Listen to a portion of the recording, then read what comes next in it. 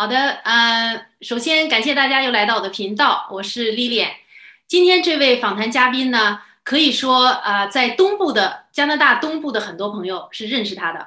昨天呢，我在我的房东俱乐部群里面宣布了我将采访他的这个信息的时候，那我就有这个会员就说：“哎呀，他是这个投资大咖呀，他呢是多伦多的一位房地产投资人，我也是可以有很多地方可以跟他学习的。”他是 Jennifer May，好，Jennifer，呀，谢谢你啊，丽丽啊，我也是通过你的频道认识了你，也非常感谢邀请我到你的频道来。嗯，谢谢 Jennifer，我是知道的你自己呢投资也是非常成功的。好，今天呢我就想啊，关注今天这个视频的朋友，给一定给 Jennifer 点一个赞，因为他今天的信息一定是能够给新手房东，还是有一些经验的房东，都会有非常好的一个借鉴。好，所以请大家呢给我们视频点一个赞，鼓励一下。好，Jennifer 呢，今天我准备一些问题啊，这些问题也是我自己想要去多多了解你的投资经历的。首先，我想问一下你自己的这个是从什么时候开始投资的地产投资？呃，我自己来说的话是二零零一年移民的。移民之后呢，像很多的老移民一样，手口袋里没有多少钱啊，找了份专业工作。然后呢，呃，后期我又进入了呃银行工作，然后觉得有 pension 啊，自己退休好像都很有保障了。直到二零一零年的一天，呃，我们教会的一个老太太也是叫呃从我同一个银行退休的。然后就说起我们的 pension 的其中的一点，就是不可以，呃，他的那个额度是退休之后不会再增加了。那这个情况下，因为他已经退休将近十几年了，那他当时退休工资还不错的情况下，在十几年之后看起来就不是怎么样。我这估计再过个二三十年，他当时的退休工资可能更加不够用了。这才是我当时的一个想法，就说，哎呀，好像这个 pension plan 也不是特别的 work，就是不是特别的合适吧。最主要的想法是想找一份，就说能够帮助我退休的一个计划。那我自己呢，开始的时候也都是懵懵懂懂的。呃，我自己一直呢，就是《富爸爸穷爸爸》这本书对我的影响非常之大。那他的呃，Robert Kiyosaki 的所有的书籍，我基本都读了一遍。那我首先就知道一件事情，就是说是我要买有正现金流的房子。在今天也有很多人同时在说，啊，多伦多了还有正现金流的房子啊。那是啊，刚开始的时候我也是在这样想，那去哪儿能够找到正现金流的房子？那同时呢，因为我还参加了很多的一些培训啊，就是这种房产投资的培训或者是俱乐部，他们就就说出来，就说是啊，我现在有一个方式可以让你能够做到啊正现金流，那是什么呢？Rent to own。我最开始的两个房子是用的 rent to own 的方式去拥有的。那么 rent to own 呢这个话题因为比较大，我在这里就不再继续。但是这个事情呢，使得我进入了这个行业啊，开始了房产投资。Jennifer，刚才你提到了你的这个房产投资的开始的时候，你是通过学习掌握了这个投资的方法，然后最开始还是用这个先租后买的方式去做的，对吧？对，这是我的第一前面两套是怎么开始的。你曾经讲过，就是投资有两个阶段，那你跟我们的观众讲讲这个投资你认为的两个阶段。啊，我个人认为两个阶段，或者是我自己的两个阶段是这样子的。第一个阶段呢，我是认为就是如何跳出老鼠赛跑。《富爸爸穷爸爸》这本书里面提出来的，说每天去上班，然后得到一份工资，然后每个月把工资用完，养一个大的自住房，这可能就属于一个老鼠赛跑。每个月必须要得到一定的收入。那呃，那我在做我的投资计划的时候，我原来是预备用十年的时间去做这个老鼠赛跑的跳出。那自己做的计划就是说，大概用呃。五年的时间买十套啊投资房，每套房呢，估计当时以当时的房价来说，基本上四十万到五十万的房子，呃，每个月还贷款，一个月能还一千五百块钱。那如果要是说我能够用五年的时间积累了这么呃十套房子，那么等到十年的时间的时候，我卖掉其中的五套，就卖掉一半，理论上可以把我剩下的这几个呃五个投资房给还清。当然，这个前提是因为当时我在。啊，多伦多的周边，多伦多的周边，从过去的五十年当中来看的话，它的平均升值率是有百分之七的。说十年左右，百分之七的一个投资可以翻倍。到如果到十年的时候，我卖掉其中的五套，可以把啊剩下的五套还清之后，原来给银行的那一千五百块钱一个月，现在就留给我自己了。我有五套的话，就七千五百块钱，那我自己当时的收入是呃，工资收入大概是十万到十一万。其实打完税，每个月拿到手就是五千多一点点，所以这是为什么我说好，我的目标是在这里取得一个呃可替代收入吧，这就是所谓的跳出了老鼠赛跑，我把它称为第一个阶段。那可能因为我处于呃刚好就像别人说的，我们处于一个风口之上吧。是猪都可以会飞起来，所以呢，我这个计划从二零一三年开始到二零一七年底的时候，基本上就完成了这个买十套。然后我自己呢就看了看，因为当时的情况也是我对呃上班这件事情已经越来越有点烦躁吧，所以我就辞了职，在家里就准备开始自己的呃，就说作为一个专业投资人吧，这么想的。对你讲的这个 Jennifer，我就觉得哎呀，会给好多的。对自己工作不满意，或者说哪怕是满意，但是希望以后能通过房地产投资取代这个他的收入的这些朋友，非常大的一个鼓励。因为前两天我做一个单独咨询，哎，就有一个朋友，他呢就是他的工作本身就不稳定，然后又疫情呢又减少了这个工作，他就说，哎呀，我的目标就是为了这几年能够取代我的一个基本的一个收入，所以我觉得呢，这个目标只要你定了。然后你定的计划了，咱们是可以实现的，是不是？对，对。好，那你现在，哎呀，我也是非常羡慕你啊！现在这么早就实现了自己的目标。那么下一个阶段呢，就是你用你自己的亲身经历跟大家讲一下下一个阶段。啊，那我认为第二个阶段呢，实际上对于我自己来说，我把它称为是从百万到千万的过程。那当然不是具体的这个额度，而是说我是希望从我个人的这个呃资产。是以资产的一个配置以及资产的一个升值方向去做更多的一个呃打算，就是二零一七年啊辞职之后是什么呢？我在重新配置我的从房产的投资，因为最开始的时候我是基本上啊有每一分钱拿回来就是进了房产投资里面，但这样也会造成房产投资是作为一个单一的收入来源。那后面在前面两年，我主要做的就是说是能够做一些配置吧，比如说我会配置了一部分的呃，我叫 paper asset，实际上呃有股票，我自己本人因为做外汇，我也比较有兴趣，所以有外汇，然后同时呢也还有一些就是呃 crypto coins，就是这种虚拟货币。那同时自己还把自己的一些保险这方面给配置配置的，跟我自己目前的一个状况比较适合的地步。那这些东西我认为是一个把前段时间的这个基础给夯实的一个阶段。二零一九年的时候，我就发现这个房价开始往上有回升的迹象。那时候我就在想，因为我自己一个最大的问题就是，呃，因为没有主动收入了，那么银行呢，基本上大的银行。给我贷款的可能性就基本上没有了，同时也因为这个个数的限制，所以那个时候我就想，怎么样能够突破这个状态呢？就当时就做了一个决定，就是我可以试一试做 joint venture。所以当时那一年呢，主要是做了两个 joint venture，跟呃朋友们一起就说做多伦多啊周边和市内的一些投资。那再过了到二零二零年十月份之前，基本上一个房子，呃，四个五个 offer 抢很正常。到了一月份的时候，基本上任何一个房子都是二十个以上的 offer 在抢，啊，甚至多的时候七八十个 offer 在抢都有。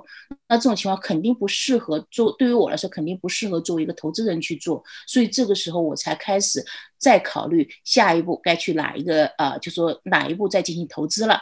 呃，等一下我会问你这个问题啊，就是你后来又去哪里投资了？我想这个观众也是非常期待想知道的。是，Jennifer，我知道呢，你也是可以说一直是作为一个专业投资人的角度去来投资物业的。那我就想问你一个这个问题啊，这个问题呢，实际上呃可以说呢也是有一些争议的，或者说也是有一些投资人困惑的问题，就是关于现金流和增值。因为我在温哥华，你在多伦多，我们都存在同样一个问题。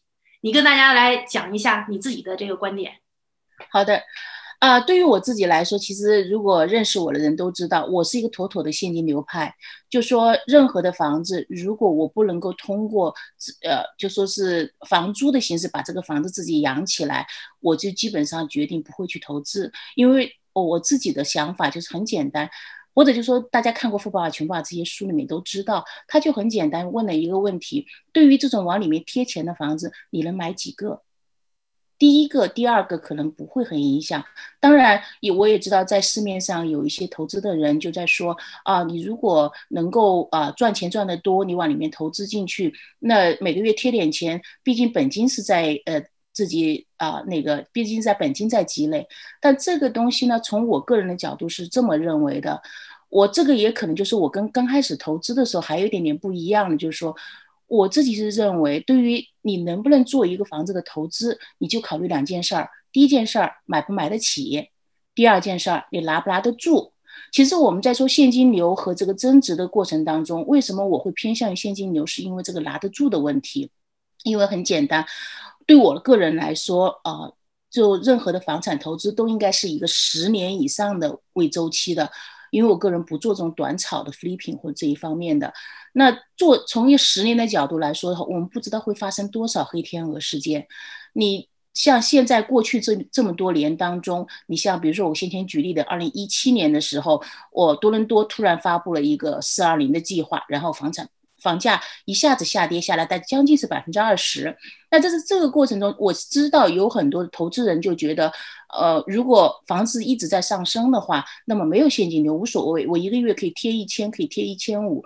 那我也就一两个房子，但在那段时间房价并不上升，甚至往下跌，你还要往里面贴一千、一千五的时候，能不能贴得下去？这是一件事儿。另外一件事，因为去年的疫情这个事情，我估计也是一个非常大的黑天鹅，谁都没有想到。那有些人可能他的工资收入就会受到打断。那在这种情况下面。啊，因为我记得刚开始疫情刚开始的时候，大家还很担心租客的房租收不上来怎么办？当然也确实发生了一些这样的现象。那在这种情况下面，能不能够贴得起？呃，能够贴几个月，这些问题都可以好好去考虑一下。那这是为什么？我个人说，房子自己能养自己是一个最基本的一个要求。至于说升值的这个角度，我觉得是一个在考虑了有现金流的条件之下才去考虑升值的。因为之前我也写过很多的文章，那其中有一句话就是我一直是这么认为的，就是说 cash flow is king，而呃。那个 appreciation is a bonus。那也当然，因为我坚守了这个原则啊，在二零一七年到二零二一年，就到这一段时间，实际上我觉得对于我个人来说，我并不关心这个房价的升也好，跌也好，我只关心的是，哎，房租上涨了，因为确确实实，虽然房价下跌了。疫情是一个非常特殊的一个阶段。那在之前的话，房租是一直在上涨的。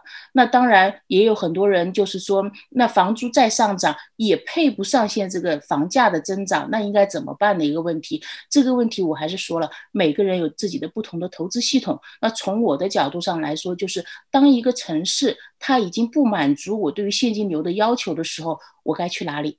这是我的一个想法。嗯，哎呀，我们两个真是很大的这个共鸣啊。嗯，呃，我呢刚才听了你这个分享，就是昨天我们俱乐部的一个会员提出了关于现金流和这个增值。他说你要有现金流，不是每个月呃每一年你要报收入吗？但是呢，你要是看增值的话，我们 capital gain 不是只有百分之五十在上税吗？就提到这个问题。那我给他的这个答复是这个，实际上这个呢就完全契合了你刚才讲的。嗯，这边讲的留言呢是这样，我说首先要考虑几点，你的物业没有现金流可以持守吗？可以没有现金流持守多长时间？没有现金流的物业可以买几个？思考完这些问题，再看看自己的目标，就知道该如何去做了。每个人的目标不同，做法和看重的可能也不同。是的，我非常同意你的观点。其实对于这个税务的问题，我现在还想再多说一句。就是说对于税务来说，我自己的看法是这样子：首先考虑如何赚钱，然后你才来考虑用什么样的结构或者用什么样的方式能够使得合理合法的少交税，而不会说我今天为了要省啊，假如说我想要省五毛钱的税，我结果连一块钱的利润我都不去赚。对吧？那我的想法就是说，我要赚了这一块钱的利润，我争取能够把那五毛钱的税变成两毛五。这个就是一个，我觉得这是一个思考方式的一个问题，不是说只有最简单的，你买一个房子，然后出租了之后怎么样要交最高的个人所得税这个这种方式吧？是的，是的，没错，我知道你那个在前一段时间有一个视频分享的，是关于怎么样用公司的这个架构，是吧？更好的跟这个房地产投资。呃，下一次我们这个房东俱乐部的这个会员讲座，我邀请你跟大家分享这部分内容啊，我觉得非常非常好。因为这个呢，也我也说了，一般来说，你当你做这个房产投资到了。呃，个人的房产投资到了一定阶段之后，其实应该考虑就是税务的规划问题。当然，因为每个人的税务状况是不一样的，我也只能给出我自己的一个建议。我自己是怎么做的？因为我并没有会计师的背景，我只是从我的一个理解和我自己在做的这些事情做一个分享。对，非常好，非常好。哎，那我们谈到了，因为你刚才讲到两个阶段，实际上你现在进入第二个阶段。对，那我就想问一下，因为我的观众呢，有一些真的是完全是新手小白的，他们特别想做房地产投资，然后也有一些有经验的。那你跟我们分享一下，就是你在最初评定这个物业的时候，跟现在有哪些不同呢？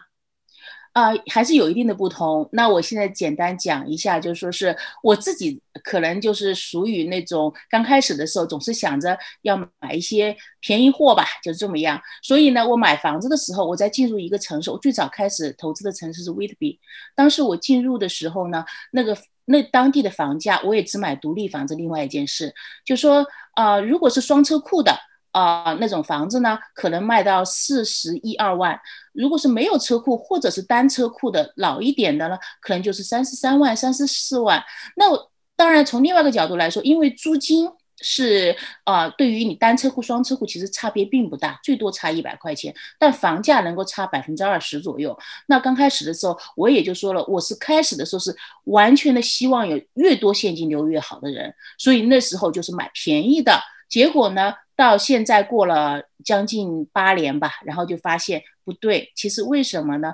因为这就是我们先前说的现金流和这个呃增值应该怎么 balance 的问题。这是这跟我现在和以前不太一样的地方就在于这里，就是说现金流要有，因为要保证能活下去，但是并不是最重要的。这点我还是说，就说这是两个完全不同的一个一个呃，就说不叫概念，就两个不同的一个说法，就是要能想清楚，就是。第一，我一定要现金流，自己能养自己。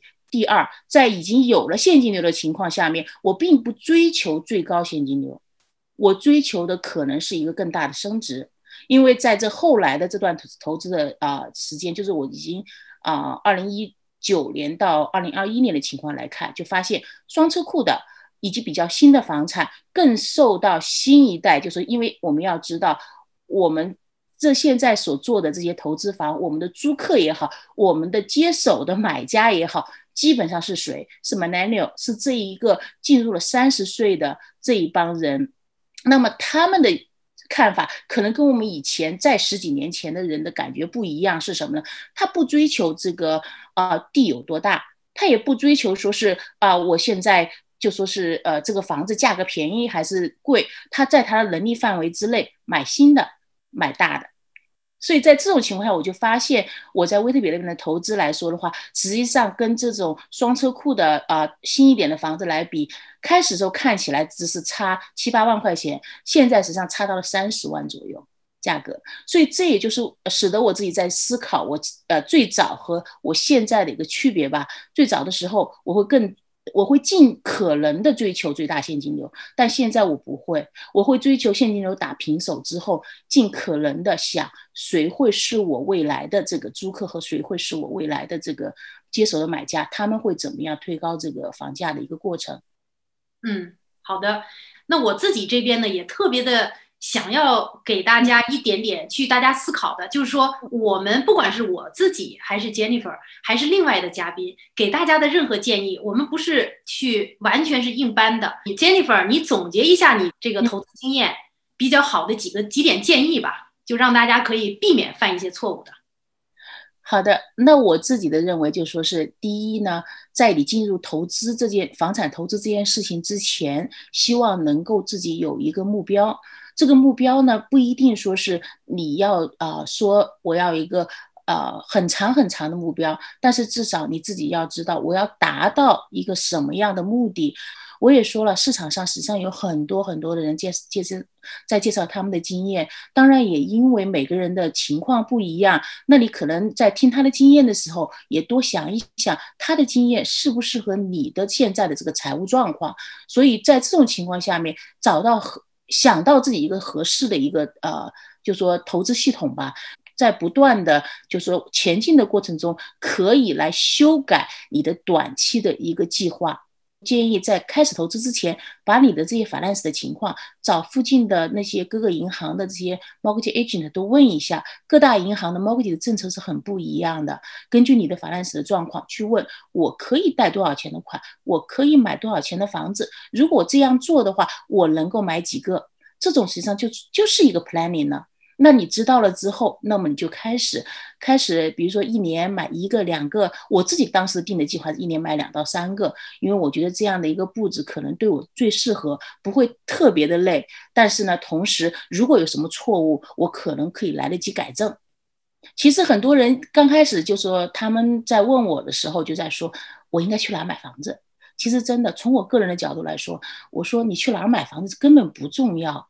甚至买什么类型的房子也不重要，重要的是你要达到什么样的结果。其实实际上，你如果把过去十年当中这些房产的增值，每个地区以及每个房型的增值，其实拿个十年的时间来看，大家差别并不大。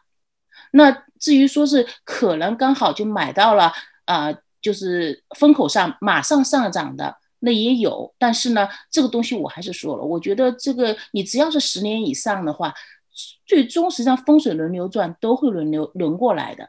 那我刚才听你的讲，其实最最重要建议给大家的就是开始根据自己的这个你的目标、你的需求定一个计划，然后咱们从这计划再去做，是吧？对，而且要知道自己的一个能力、能力范围吧。呃，我发现很多朋友呢，他们容易说去。跟别人就说看到别人成功了，他就说，哎，这个我能不能做？所以呢，这个我觉得还是要考虑到自己的这个，呃，刚才你讲的一个是自己的目标，自己的这个能力，好，各方面你就要考虑。所以最终最终，我觉得给大家的一个建议就是说，我们不怕说你这个投资能够多么成功，最怕的是你根本不想，你根本不行动去投资。只要是你行动了。我们就能走一步，以后你就能看到我下一步该怎么走，所以这个行动实际上是最重要的。是，这是我自己一直认为的，就说呃，行动是最重要的。那你如果是有很多人说，呃，就说在不断的想、不断的做计划、不断的去学习，当然是好事儿。但是你真的不把脚伸到水里面，你不知道这个水的。温度你不知道水的深浅的，而且还有一个事情就是我一直想跟新手的说法就是说是，啊不要怕失败。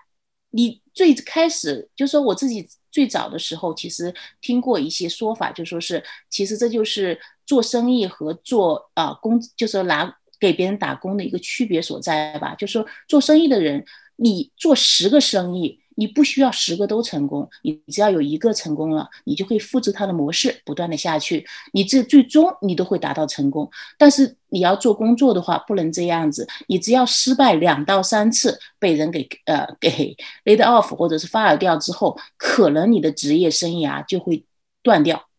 这个是区，我觉得是真的是一个非常大的区别。所以我还是说了，不要怕失败。你如果觉得房产投资是一个可以做的事情，那么按你就说刚开始就进去去试，做错了没问题，可以有机会更改的。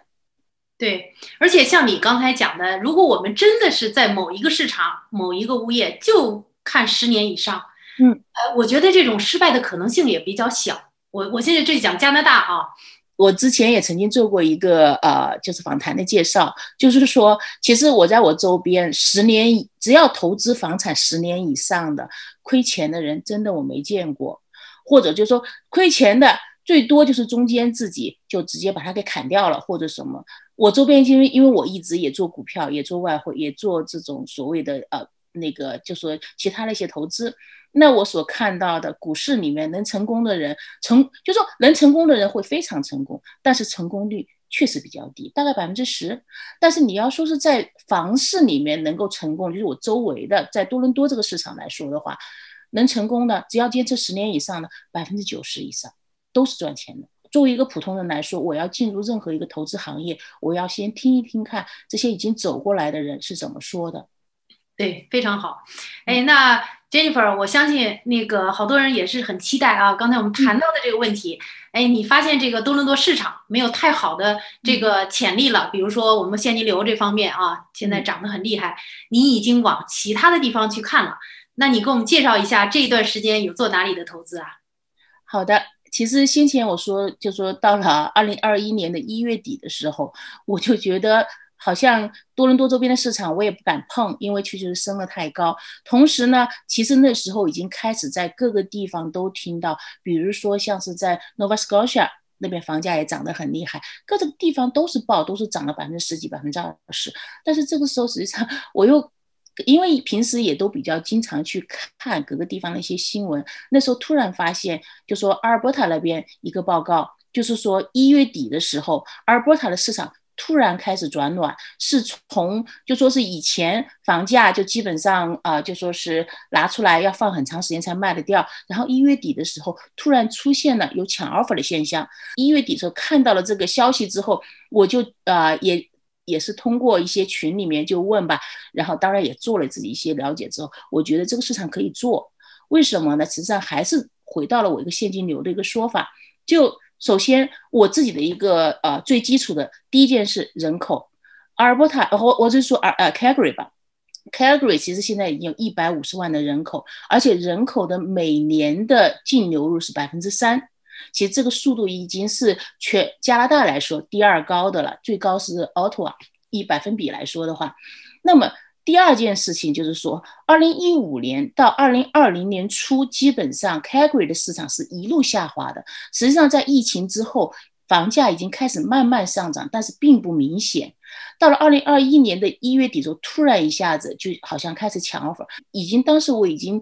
呃，有一个想法，就是说是什么呢？就是说房价的上涨实际上跟经济没有太大的关系，跟什么有关系？跟市场上泛滥的钱有关系。央行放水淹了多伦多，淹了呃温哥华，那不可能不淹 Calgary，对吧？这个这么大个市场在那里，那这时候，所以我在二月中旬开始就在 Calgary 开始就是买房子。那就像我先前所说的，我这次买房子开始买就找什么样的？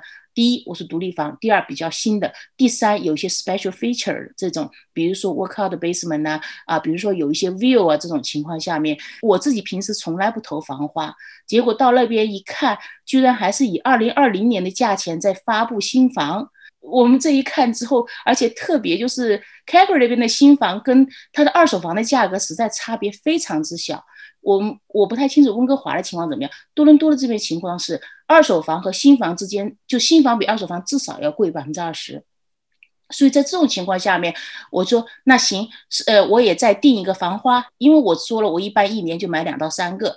所以这是我在 Calgary 的一个呃，就是情况。那我的第一个投资房呢，四月中旬已经 close 掉了。呃，就说四月份 close 这个房子呢，因为是第一个买的，所以当时的价格还不是特别的抢的厉害的。时候四十七万的这个房子，如果我要整租的话，大概是能整租到两千块钱到两千一百块钱，足够 cover 住一个四十七万的房子的一个贷款，加上地税，加上你的一个 insurance 加在一起的。那从我的角度，我是没有办法 qualify A lender 的贷款利息，所以我走的是 B lender 的线路。然后呢，我的贷款利息是三点八九。那在这种情况下面，我要想做到正现金流，我就把它分成了两户，而且地下室是准备做 legal 的 basement 去出租。那也非常好的一件事情是，楼上那一户呢。呃，四月十五号 close 了之后，已经呃五月一号新的租客已经入住了。楼上的租客的租呃租金价格比我想象的稍微高一点，租了一千六百八十块钱。地下室的租金呢，预计是能租到一千块钱左右。那这样两千六百八十块钱的租金是足够支撑我这个房子的呃，就是以三点八九的利率贷款，这种情况是一定能够支撑得住的，就是有现金流存在的。那这个实际上就是很多人想知道的。对你如果去一个新的地方，你应该考虑的是什么？那我的考虑其实跟我原来没有太大的区别。第一，现金流；第二，人口有一定的基数，以及人口有净流入。然后，当然，第三点就是我自己近年来的一个比以前的一个改变，就是说我会尽可能在能够就说是我能够 cover 住现金流的情况下，买当地比较好一点的房子，这是我自己的一个呃近期的一个改变。嗯，非常好。呃，其实我自己的那个视频，自从做这个 Edmonton 投资的，呃，在这个之后啊，大家也特别关注 Alberta。那我相信呢，呃，你这次谈了之后，我估计大家蜂拥到 Alberta 去看机会的可能性非常非常大。但是不管怎么样吧，呃，这都是我们自己的经验分享啊，我们还是要看你们个人的这个情况来，大家来决定去哪里投资，嗯，会比较好。我自己这边因为跟 Brad 在那边有投资，所以我们弄了一个 Alberta 的投资群。如果哪位朋友感兴趣的话，加我微信，然后可以邀请你到这儿来。那如果是有 Alberta 的投资的机会，大家可以在这边来交流。非常感谢呃 Jennifer，也非常的高兴啊，Jennifer，你是一个非常喜欢分享的人。然后我刚才也是在最开始也听到你自己讲，啊，你也是一个基督徒。所以，我我也是真的很感谢啊，很感谢你。我们这个姐妹之间也可以互相的交流，然后呢，能够更多能够帮助到愿意投资的这些朋友吧。是的，我也是这样想啊。下次有机会，我再来邀请你来做我们的访谈，跟我们分享，好不好？然后希望你这个不断的继续的实现你的以后的这个 future 的目标。好的，非常感谢丽丽。嗯，好的，那我们下次见，Jennifer，谢谢，拜拜，拜拜。